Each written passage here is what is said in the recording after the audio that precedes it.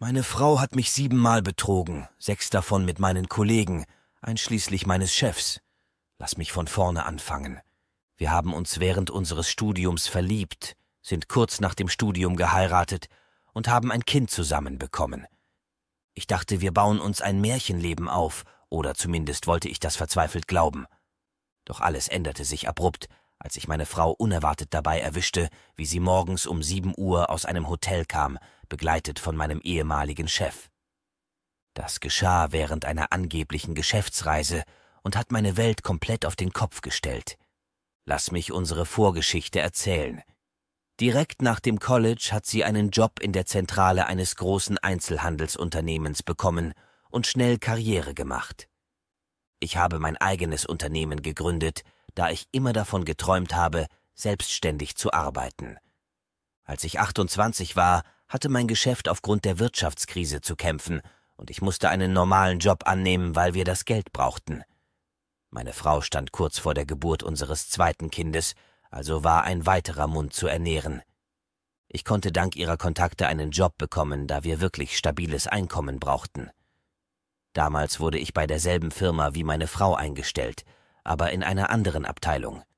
Zu der Zeit verdiente sie mehr Geld als ich, weil ich gerade erst anfing und sie bereits Karriere gemacht hatte.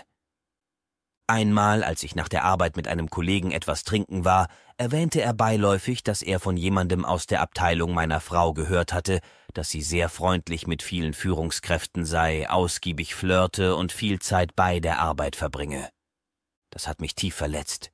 Ich wäre fast mit ihm in Streit geraten aber ich habe es als das Gerede unter Alkoholeinfluss abgetan, da ich absolut sicher war, dass meine Frau nicht betrügen könnte. Ich hatte volles Vertrauen in sie.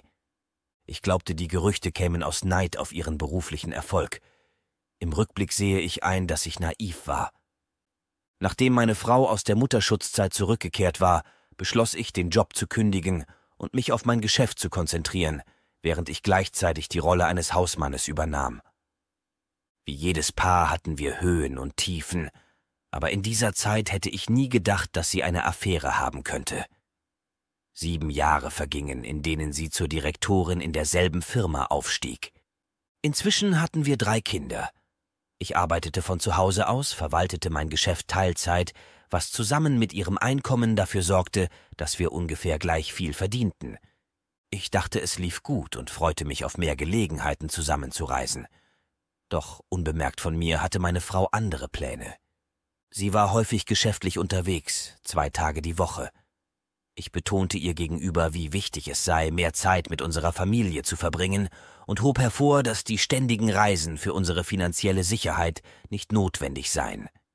Mit drei kleinen Kindern, die ihre Mutter brauchten, drängte ich sie, ihre Entscheidung zu überdenken. Sie argumentierte jedoch, dass ihre beruflichen Verpflichtungen nicht verhandelbar seien und verwies auf Opfer, die sie für die Karriere gemacht habe. Während unserer Diskussionen über drei Jahre hinweg versicherte sie mir immer wieder, dass sie bald befördert werde und die Reisen aufhören würden. Sie behauptete, dass sie über das Telefon für die Kinder erreichbar bliebe, obwohl unsere älteste Tochter erst acht Jahre alt und ohne Handy war. Diese Rechtfertigungen klangen für mich jedoch wie Ausreden, um ihren mütterlichen Verpflichtungen zu entkommen. Schließlich, als mir klar wurde, dass unsere Gespräche keine Veränderung brachten, akzeptierte ich meine Rolle als Hausmann und Ernährer für die finanziellen Bedürfnisse unserer Familie. Die Hälfte der Zeit, wenn sie vier Tage die Woche zu Hause war, versuchte sie, die Kinder mit Geschenken für sich zu gewinnen. Obwohl ich dem nicht stark widersprach, da ich es genoss, Zeit mit unseren drei Kindern zu verbringen, sie von der Schule abzuholen und aktiv in ihr Leben involviert zu sein, wünschte ich mir doch, dass meine Frau die gleiche Begeisterung für qualitativ hochwertige Zeit mit unseren Kindern hätte. Ich wünschte mir, sie würde sich nicht so sehr auf materielle Gesten verlassen. Unser Intimleben war durchschnittlich, mit Sex einmal oder zweimal im Monat, ein Muster, das seit der Geburt unseres zweiten Kindes bestand. Ich akzeptierte das und verstand, dass unser Leben zusammen auf andere Weise reich und erfüllend war.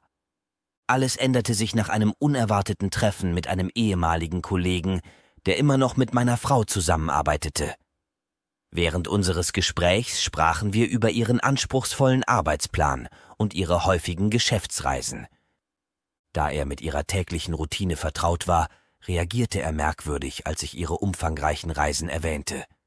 Seine Reaktion weckte Misstrauen in mir, und ich begann zu vermuten, dass etwas Seltsames passierte. Als ich zu Hause war, verstärkten sich meine Verdächtigungen, und ich war zunehmend überzeugt, dass meine Frau etwas verbarg. Trotz ihres stets gepflegten Äußeren für die Arbeit gab es keine offensichtlichen Anzeichen, die Misstrauen weckten. Wir pflegten immer noch eine Verbindung, die mich an die Anfangszeit unserer Beziehung erinnerte, obwohl sie jetzt häufiger reiste. Als Hausmann beschloss ich, meinen Bedenken weiter nachzugehen und platzierte diskret einen GPS-Tracker in ihrem Auto. Was ich entdeckte, war alarmierend. An den Tagen, an denen sie angeblich auf Geschäftsreisen war, übernachtete sie tatsächlich in verschiedenen Hotels innerhalb eines 50 Kilometer Radius von ihrem Arbeitsplatz. Eines Tages stellte ich mich vor eines der Hotels, um herauszufinden, was vor sich ging. Ich engagierte eine Babysitterin, saß die ganze Nacht in meinem Auto und sah am Morgen meine Frau und meinen ehemaligen Chef, der einmal ihr Kollege war, zusammen das Hotel verlassen. Das klärte die Situation weitgehend auf. Sie haben es nicht einmal versteckt. Ich war geschockt. Ich sprang aus dem Auto, um sie zur Rede zu stellen. Sie kamen aus dem Hotel, als ob sie an einem Geschäftstreffen teilgenommen hätten. Ich konfrontierte meine Frau direkt und begann sofort mit ihr zu streiten. Trotz meiner Hartnäckigkeit versuchte mein ehemaliger Chef der Situation auszuweichen, aber ich bestand darauf, dass er dabei blieb, während ich meine Frau konfrontierte. Schließlich gelang es ihm, sich zu entziehen. Während der Konfrontation behauptete meine Frau weiterhin, sie hätten nur an einem Geschäftstreffen teilgenommen. Sie verhielt sich abweisend, als ob ich mich irrte, trotz des klaren Beweises dafür, dass sie morgens aus einem Billighotel mit einem verheirateten Mann weit weg von zu Hause kam. Zu diesem Zeitpunkt erklärte ich endgültig, dass unsere Ehe vorbei sei. Da wurde mir klar, dass ich das viel früher hätte herausfinden sollen. Die sieben Jahre alten Gerüchte stellten sich als wahr heraus. Ich sagte ihr, sie solle nicht nach Hause kommen und bei ihrem Liebhaber bleiben. Sie zog zu ihrer Freundin, rief aber immer wieder an und schrieb mir SMS, flehte darum, nach Hause zu kommen und die Kinder zu sehen, die sie für ihre Affären verlassen hatte. Eine Woche nach der Enthüllung des Betrugs wollte ich die ganze Wahrheit herausfinden, weil es Gerüchte gab, dass sie Affären mit mehreren Kollegen bei der Arbeit hatte. Wir trafen uns und ich machte ihr ein Angebot. Ich würde in Betracht ziehen, sie zurückzunehmen, wenn sie alles gestehen würde. Doch mein wahres Ziel war es, die Antworten zu bekommen, die ich dringend brauchte. Kurz gesagt, übernahm ich schließlich selbst die Initiative und führte eine gründliche Untersuchung durch.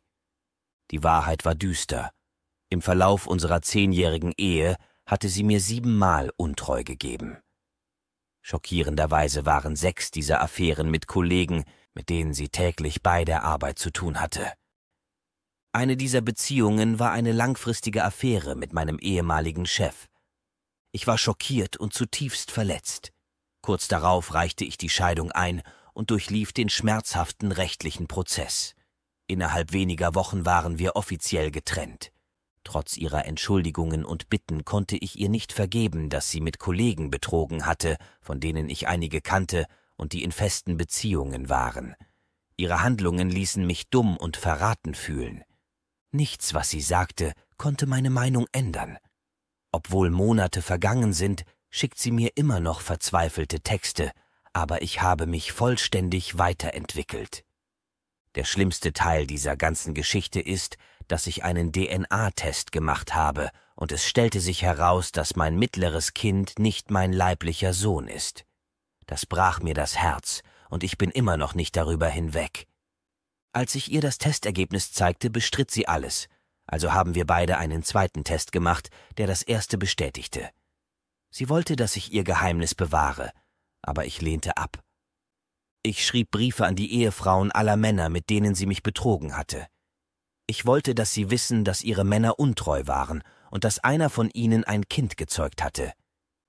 Die Nachricht von ihrer Untreue verbreitete sich schnell, was sie dazu veranlasste, ihren Job zu kündigen und sich vollständig von sozialen Medien zurückzuziehen.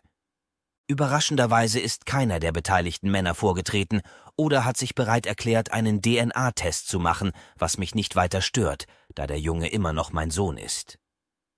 Aber ich habe die Namen für meinen Sohn aufbewahrt, falls er eines Tages wissen möchte, wer sein leiblicher Vater ist. Derzeit bin ich mit einer Frau zusammen, die ich seit der Highschool kenne. Ich gehe diese neue Beziehung vorsichtig an, aber bisher läuft alles gut und ich habe keine Anzeichen von Verrat gesehen. Es geht mir gut und ich bin wirklich glücklich. Ich habe das volle Sorgerecht für alle drei Kinder und versuche meiner Ex-Frau aus dem Weg zu gehen. Es ist befriedigend zu wissen, dass sie unglücklich ist, einen schlechter bezahlten Job in einem anderen Bereich hat, und jeder, der uns kannte, weiß, dass sie diejenige war, die unsere Ehe ruiniert hat. Ich versuche immer noch zu heilen und nehme es Tag für Tag. Ich bin jetzt ein ganz anderer Mensch. Ich genieße mein Leben in diesen Tagen wirklich. Danke, dass du meiner Geschichte zugehört hast.